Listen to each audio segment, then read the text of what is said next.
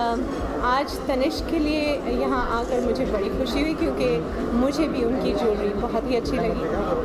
जो जो कि मैंने पहना है मुझे लगता है बहुत ही खूबसूरत है Hi everybody, I'm Shah Khan. Uh, watch me only on facebook.com slash